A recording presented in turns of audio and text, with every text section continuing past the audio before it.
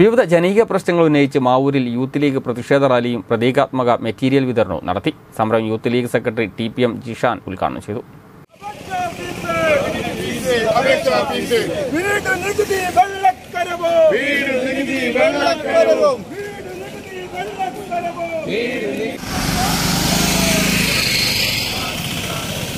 വിവിധ ജനകീയ ആവശ്യങ്ങൾക്ക് വേണ്ടിയാണ് മുസ്ലിം യൂത്ത് ലീഗ് മാവൂരിൽ പ്രതിഷേധ റാലി സംഘടിപ്പിച്ചത്.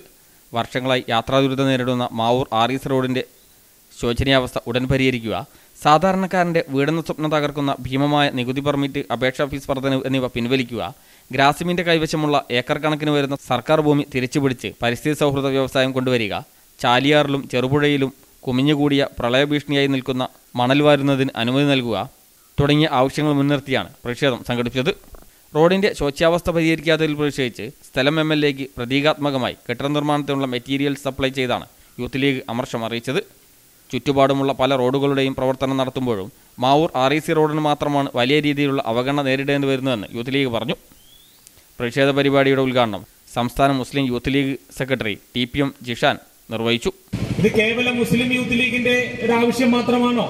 ഈ നാട്ടുകാരുടെ വികാരം കണക്കിലെടുത്തുകൊണ്ട് മാവൂരിലെ ജനതയ്ക്ക് വേണ്ടി ഈ കഴിഞ്ഞ കാലഘട്ടങ്ങളിലെ നിയമസഭാ അംഗങ്ങളുടെ കണക്കെടുത്ത് നോക്കിയാൽ തന്റെ പേര് പി ടി എ റഹീം എന്നാണെങ്കിൽ ആ പേരിനൊരു പുതിയ അർത്ഥം ഇവിടെ മുസ്ലിം യൂത്ത് ലീഗിന്റെ ചെറുപ്പക്കാർ വിവരിച്ചിരിക്കുകയാണ്. പറ്റത്തല്ലിപ്പൊളി അംഗം റഹീം എന്നാണ് ആ ഒരു മൂന്നക്ഷരത്തിന് വേണ്ടി ഇവിടെ വിവരിക്കാൻ മുസ്ലിം യൂത്ത് ലീഗിന്റെ ചെറുപ്പക്കാർ തയ്യാറായിട്ടുള്ളത്. ഏഴ് വർഷം ആസ്തി വികസന ഫണ്ടിന് അഞ്ചു കോടി രൂപ വെച്ച് കൂട്ടിയാൽ അതിൽ കേവലം ഒരു ഒന്നൊന്നര കോടി രൂപയോളം മാത്രം വരുന്ന ഈ ഒരു പദ്ധതിയുടെ ചെലവ് എന്തുകൊണ്ട് എം എൽ എ നടത്തുന്നില്ല?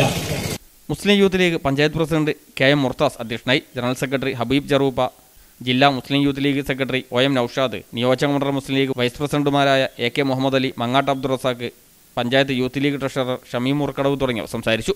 News bureau Mavoor.